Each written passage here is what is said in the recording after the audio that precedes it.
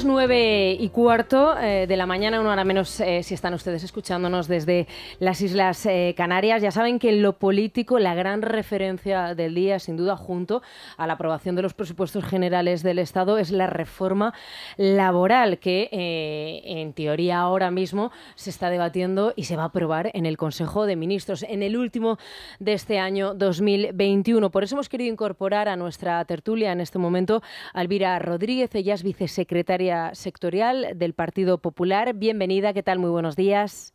Hola, muy buenos días, Sara.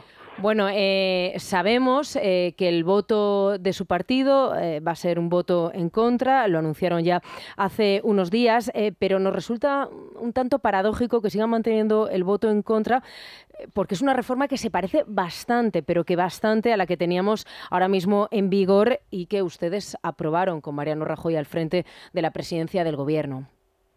Bueno, eh, lo que está reformando el Gobierno son algunas de las partes de la normativa laboral vigente hasta el momento. Pero estaba claro que hacían falta una serie de cuestiones que se deberían de haber acometido y no se han hecho. Y las que se han hecho le quitan mucha flexibilidad al sistema. Claro que hay algunos componentes de la reforma eh, laboral del 12 o de la normativa laboral que viene del 12 que permanecen, pero se corrigen otros que van a ser lesivos para nuestro mercado laboral y no se corrige en el sentido que se debería de corregir eh, grandes problemas que tiene el mercado laboral español. Porque por mucho que se empeñe el gobierno de que se está creando empleo, claro que se está creando empleo eh, eh, gracias a haber podido aplicar los ERTES y gracias a esa flexibilidad que ahora se cargan parte, pero seguimos teniendo otra serie de problemas que no se acometen y además eh, en este momento la economía mundial no era la que hace 10 años o no era la que hace 15 o la que hace 20. Por todo ese tipo de cuestiones es por lo que decimos que no podemos realmente acompañar al Gobierno en esta reforma que además aunque hayan estado eh, trabajando con los agentes sociales, es una reforma estructural para España que se la han guisado y se la han comido ellos solos. Y desde luego mm, no estamos de acuerdo. Bueno, hay que decir que una de las grandes eh, cuestiones, la indemnización por despido, efectivamente no se toca, sino una de las grandes bazas eh, que ha jugado, en este caso, el presidente de la COE, Antonio Garamendi, que ayer también eh, ponía el ultimátum en la reforma que tiene que aprobar hoy el Consejo de Gobierno, hoy el Ejecutivo tiene que ser la que ellos han pactado, tanto con ellos como con los agentes sociales. Pero díganos, ¿cuáles son los aspectos que usted considera lesivos no, a, ver, en primer lugar se resta flexibilidad al sistema cuando volvemos a la negociación con los sindicatos, porque al final, si vemos qué es lo que ha pasado, eh, lo que han hecho ha sido trabajar como han trabajado otras veces en otras en otras reformas de la normativa laboral con el con la patronal diciendo virgencita que me quede como estaba porque con lo que me han amenazado era con una regulación eh, mucho más drástica y al final las cosas no se han quedado tan mal. La política del mal menor que decía anteriormente el eh, director del mundo. Claro, la política del mal menor porque además esa política ya no es ni la primera, ni la segunda, ni la tercera vez que se lo aplica eh, la vicepresidenta Díaz, porque ella es especialista en negociar, acaba amenazando con todos los males del mundo, luego que se carga la mitad de los males y tira para adelante. Pero nosotros no estamos de acuerdo en que se reste la flexibilidad de la negociación y los convenios de empresa, en las cláusulas de, de descuelgue y la ultraactividad. El mundo ahora es mucho más flexible que lo era con anterioridad. Las empresas, esto de que estás en una rama de empresas y todas tienen los mismos problemas, pues la verdad no es verdad, porque a veces eh, depende del tipo de producto que tú estés eh, em, que tú estés eh, comercializando, o que tú estés construyendo o que tú estés fabricando. Y los problemas son muy diferentes, en, ya no por sectores, sino también por empresas. Y en ese camino tendríamos que seguir. ¿Por qué es malo que se negocie dentro de una empresa? La empresa moderna ya no es la empresa del siglo pasado, en donde había un amo, como dicen o decían en Cataluña, en las textiles, y una serie de empleados muy alejados de quien era el capital. Ahora las empresas son radicalmente distintas y los empresarios muchas veces son los primeros compañeros de sus trabajadores porque todos tienen el mismo objetivo. Es una pena que no se haya aprovechado para implantar la mochila austríaca o algo similar para, para, resolver el problema de la temporalidad, eh, atacar de una forma clara a cuál es el problema que tiene el empleo barra, en realidad, desempleo juvenil o a darle una vuelta a las cotizaciones eh, empresariales eh, que son una carga, por mucho que se empeñe el ministro Escriba, para la competitividad de nuestras empresas. Algo pasa en España que hace que tengamos el doble del desempleo que los países de nuestro entorno y desde luego esto que se ha hecho no lo va a resolver. Bueno, ustedes habían pedido estos días de atrás encarecidamente al Gobierno que la norma se tramitara como proyecto de ley, no como decreto, eh, bueno, lo que habría y daría la posibilidad a que hubiera un trámite, digamos, de discusión mucho más amplio, también con enmiendas en el Parlamento, aunque esta tramitación eh, no se antoja bastante fácil para el Gobierno. Ahora mismo la suma eh, no la tienen porque sus socios ya han eh, dicho eh, que esto se puede ver frustrado en el trámite parlamentario que se va a iniciar ahora en el Congreso de los Diputados.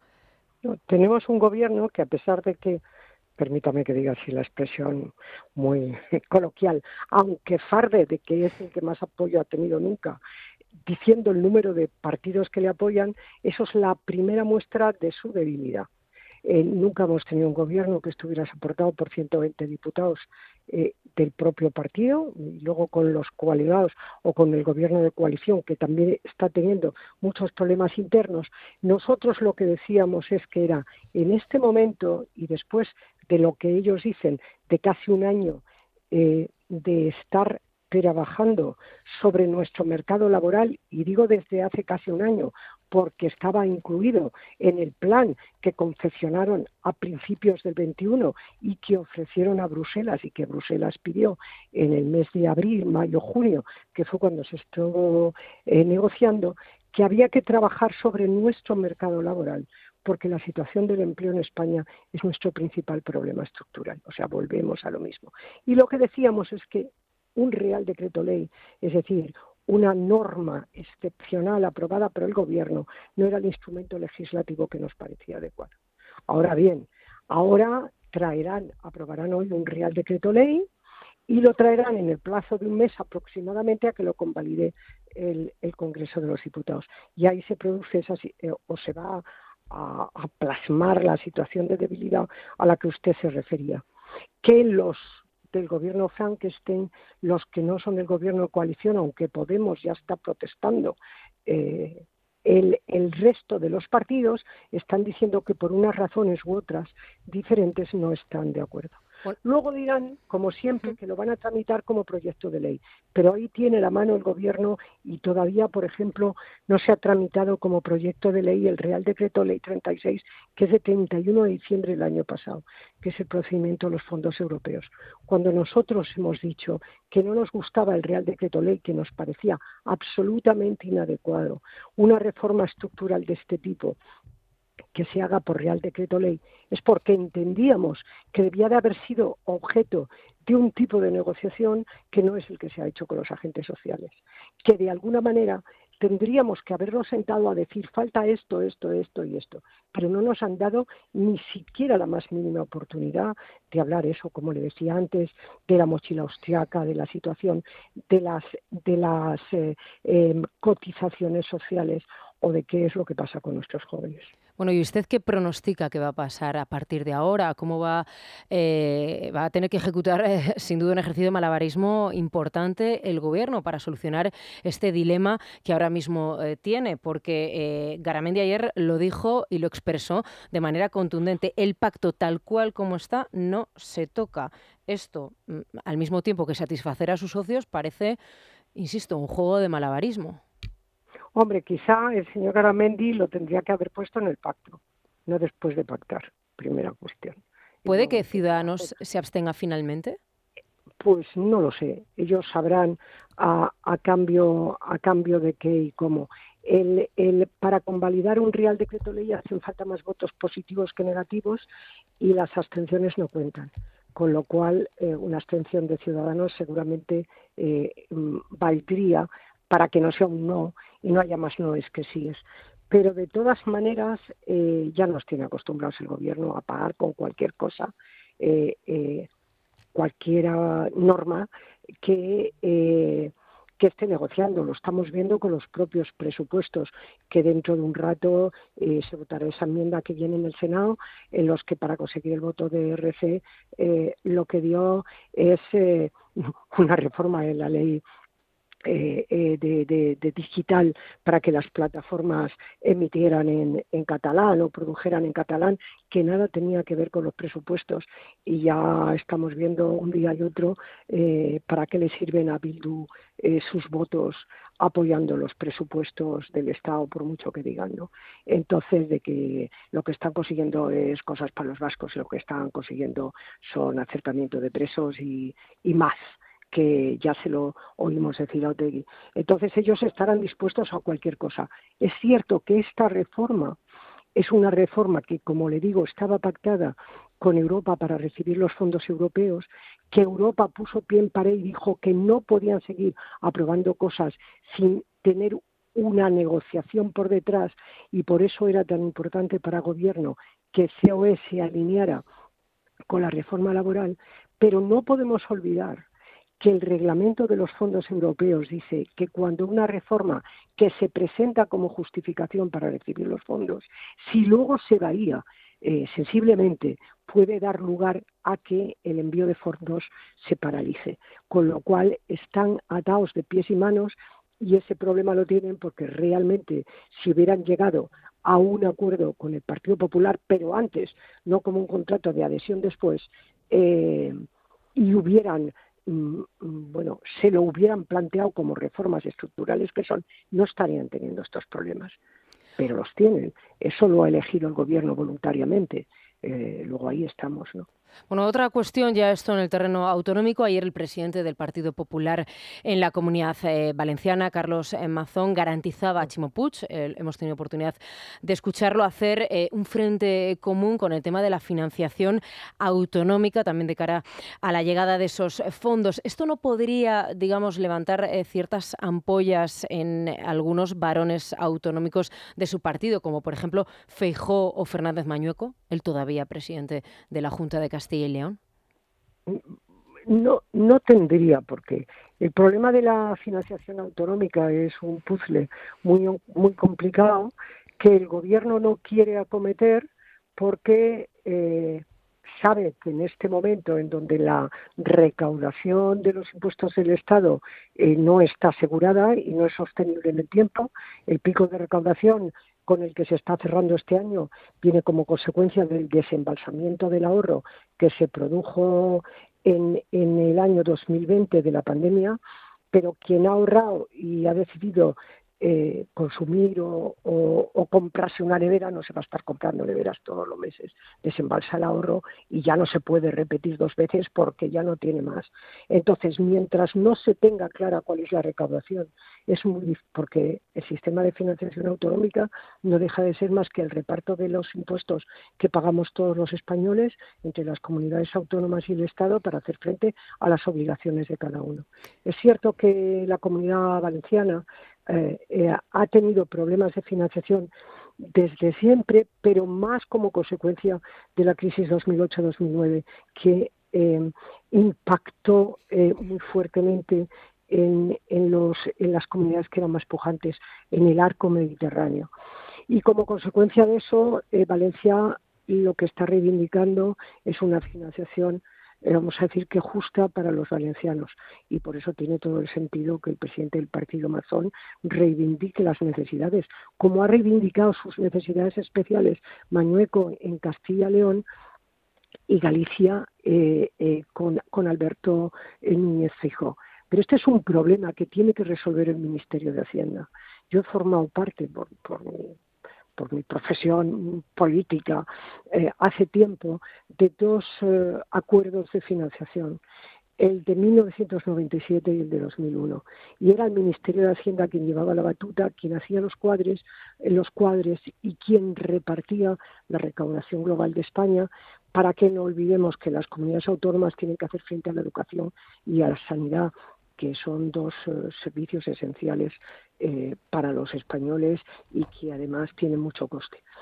Y bueno, eh, yo he oído siempre a Carlos Mazón decirle o ofrecerle a Chimo Puig que, mm, que Comunidad Valenciana son todos, no digo somos porque yo soy madrileña, pero eso es lo mismo. Ahora bien, tienen que hacer un modelo de financiación equilibrado y las noticias que, que nos llegan o que se le oye decir a la ministra Montero de vez en cuando auguran, en este caso lo digo como madrileña, eh, lo peor. Y los españoles somos todos iguales ¿eh? y, tenemos derecho a recibir el mismo trato. El secretario general de su partido, Teodoro García Egea, confesaba ya en el mes de agosto que ustedes ya tenían preparados lo que iban a ser los primeros consejos de ministros que iba a encabezar Pablo Casado si se convierte en el próximo presidente del gobierno, como siguen pronosticando muchas de las encuestas. ¿Me puede avanzar algo, especialmente en su negociado, en lo que se refiere a la economía? Bueno, a mí me parecería eh, muy osado por mi parte, pero venimos diciendo una y otra vez en, nuestros discursos, en nuestras intervenciones, cuál creemos que es el camino por el que tenemos que ir. Eh, tenemos que ir por un camino que le dé eh, competitividad a las empresas y hay que darle una vuelta a nuestro sistema tributario, estoy hablando de impuestos, en su conjunto, para que no nos reste eh, competitividad. Nosotros creemos, y lo veníamos diciendo, y ahora tenemos la reforma laboral en la mesa, que hay que avanzar en flexibilidad o en flexiseguridad, que se dice que los trabajadores tengan trabajos dignos, pero que las empresas tengan flexibilidad para adaptarse a los problemas que les surjan. Creemos que hay que avanzar en quitar eh, burocracia. Eso lo decimos una y otra vez y quizá lo estemos viendo en la política que está siguiendo la Comunidad de Madrid, en donde eh, eh, hay que quitarle obstáculos a las empresas eh, que quieran crear, porque lo que se ha producido en, usted, en estos últimos tiempos es que parece que para el Gobierno y para la vicepresidenta Díaz la empresa es el enemigo. Y la empresa no es el enemigo. El trabajo como diría yo, sostenible en el tiempo. Es el trabajo que crea el sector privado.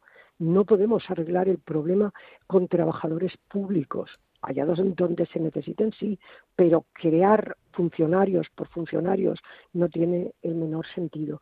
Y también trabajar con una, con una en, trabajar en la empleabilidad a través de la educación, una educación bien adaptada a las necesidades del mercado en cada momento, a las necesidades de las empresas. No estamos satisfechos, eh, eh, por ejemplo, con la ley de formación profesional, tal y como ha salido, con ese resquemor a, a la educación concertada ya a la colaboración de lo público-privado. En ese sentido iríamos.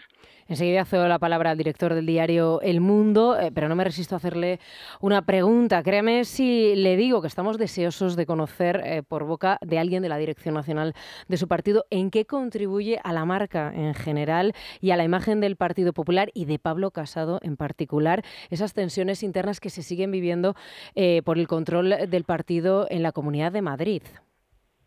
Bueno, el, el, el, eh, eso es un, una cuestión eh, que se está asentando y que se ajustará y no sé si contribuyen o no a la marca eh, del, partido en general y del presidente en particular, pero yo creo que si preguntamos ahora a los españoles en este momento no sé eso lo que más les preocupa, lo que les preocupa es esta situación de la pandemia que nos tiene a todos desconcertados, o sea, yo solo sé que todavía tengo la espinita clavada que hemos tenido que renunciar a la cena eh, familiar de, de, todos los años con mi madre, que afortunadamente está bien, pero tiene 99 y nunca sabemos si es la última, como es lógico, y esa cena familiar grande se ha tenido que, que, clausurar y lo mismo pasa con la cena de Nochevieja, que también era de su casa, por la, por la subida de la cesta de la compra, por la indefinición de si seguirán teniendo trabajo o no.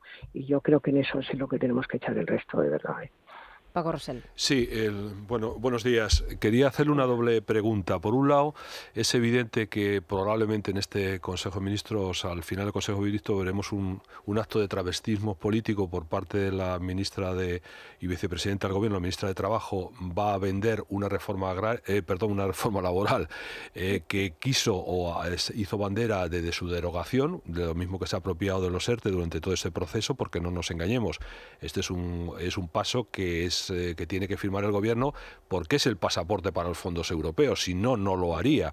Es evidente que como consecuencia de ello, ya se adelanta, va a sufrir el, Partido Popular una doble presión por parte del gobierno que le va a decir que cómo está en contra de, estos, de esta reforma laboral, que es la que exige Europa, y por otro lado, las tensiones que va a haber con, con la propia patronal que ha suscrito ese acuerdo. Eso por un lado. Y en segundo lugar, veo que ustedes siguen insistiendo un poco en el que creen que el resultado de las próximas elecciones se va a dilucidar exclusivamente en términos de la situación económica. ¿Es una apreciación personal o es un sentimiento compartido dentro de su partido?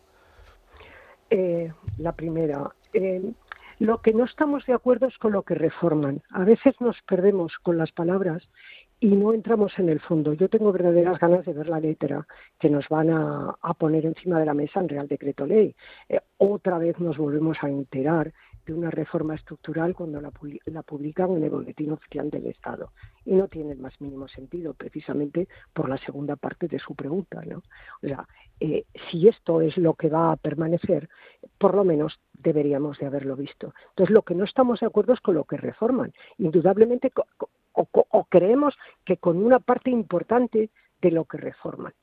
Con ese restar flexibilidad a, nuestra regulación laboral o a la situación de las empresas que se va a producir por la marcha atrás, porque esto no es modernización de la, de la negociación colectiva, eh, de volver a reflotar la ultraactividad, aquello que eran unos mecanismos para que eh, se llegara a acuerdos que estuvieran más adaptados a la situación del mercado en cada, en cada momento que es lo que preconizábamos. Y tampoco estamos de acuerdo por lo que no se ha incorporado a este cambio en la regulación laboral, que tiene mucho que ver con la mochila austriaca, con un tratamiento moderno de un mercado de trabajo dual, que es uno de nuestros problemas, y porque no estamos de acuerdo con este estilo de la vicepresidenta Yolanda Díaz, que parece que para ella lo único bueno es prohibir, y prohibiendo no se va a ninguna parte, porque eh, no se pueden poner puertas al campo. Creo, creo que, y habrá que verlo, siguen con la prohibición de despedir, entre comillas, para quien se enganche en un ERTE. Esto estaba muy bien al principio de la crisis, pero después hay que dejar que las empresas se reestructuren. Es como cuando uno tiene una herida o se da un golpe y hasta que no renueva la piel no se, le, no se cura. Y lo que hay que dejar es que ya en este momento eh, nuestro sistema se ajuste para que eh, vaya eh, más adelante o, pueda prosperar en una situación más sana, por decirlo de alguna manera.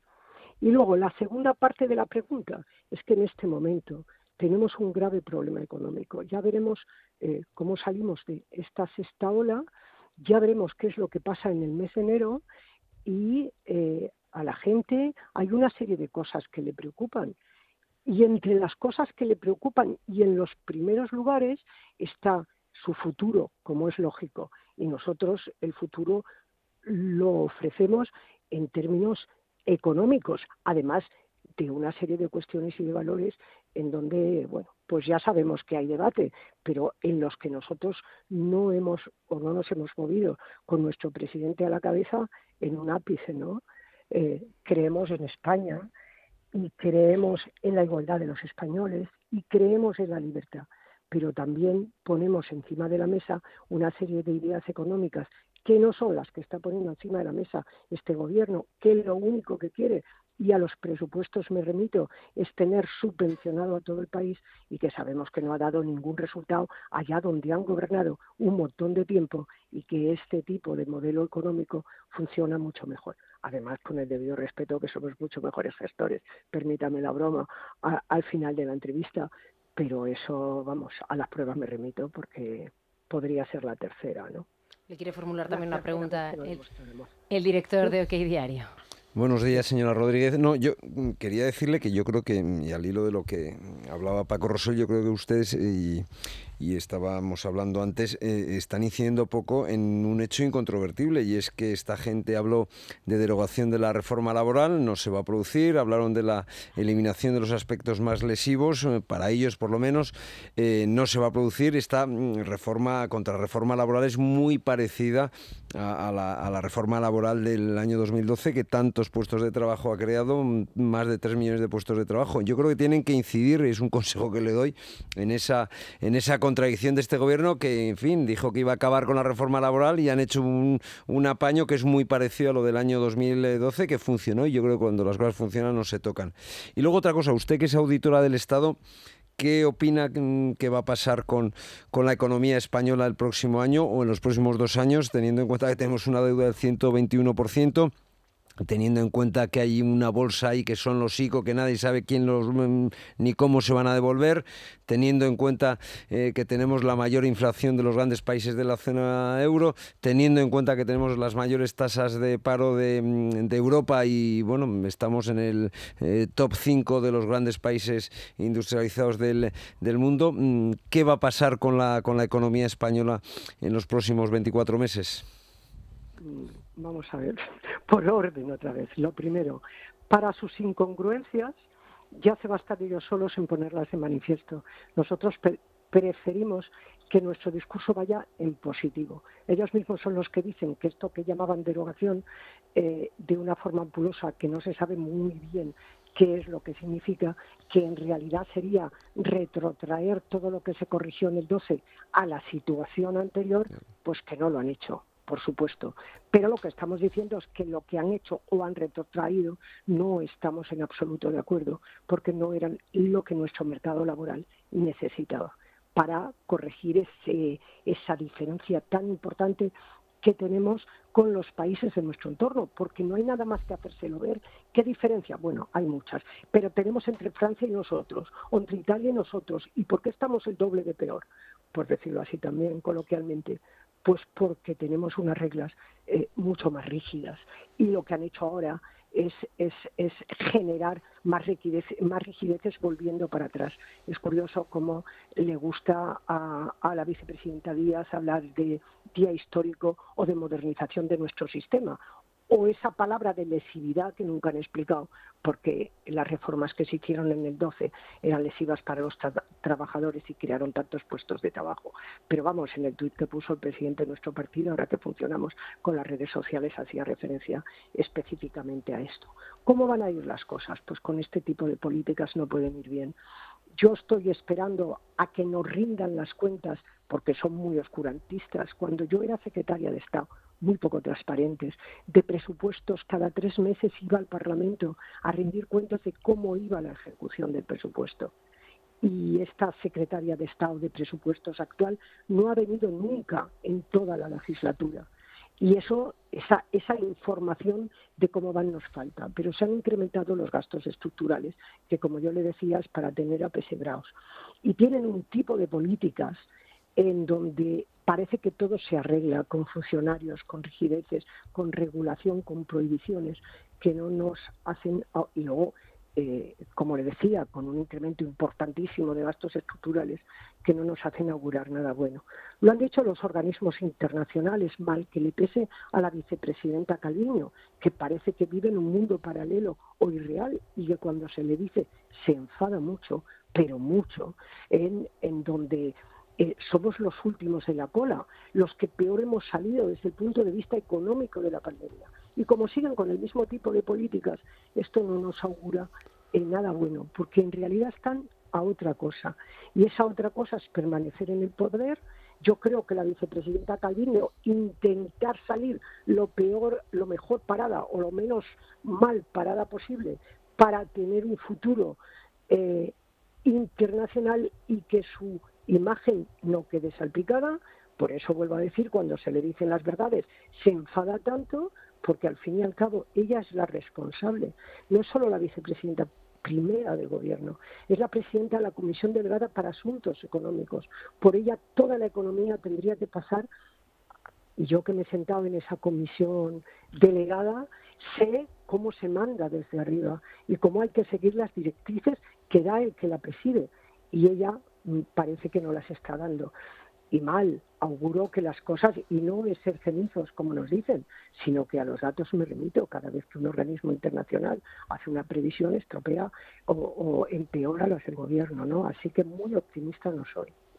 Elvira Rodríguez, vicesecretaria sectorial del Partido Popular, muchísimas gracias y le deseamos a usted y a toda su familia felices Pascuas con el máximo cuidado sanitario, eso sí. Pues muchas gracias igualmente para todos y crucemos los dedos, porque realmente suena raro, pero estamos rodeados. Y entonces no, en este rodeo, no sé, algo nos tienen que decir desde, la, desde los responsables sanitarios, porque, en fin, el que nos encerremos todos y cada uno en una habitación de nuestra casa tampoco va a resolver nada. Pues muchísimas gracias, un abrazo fuerte. De nada, gracias a ustedes y feliz año. Libertad Digital Televisión sigue creciendo. Ya puedes vernos en nuestras nuevas demarcaciones de Alcobendas, Alcalá de Henares, Fuenlabrada y Collado Villalba. Y por supuesto, en Madrid. Si aún no nos ve, resintonice su televisor y podrá disfrutar de todo nuestro contenido. Programas exclusivos, tertulias, cine, ocio. No lo dude. Empiece a disfrutar de una televisión diferente.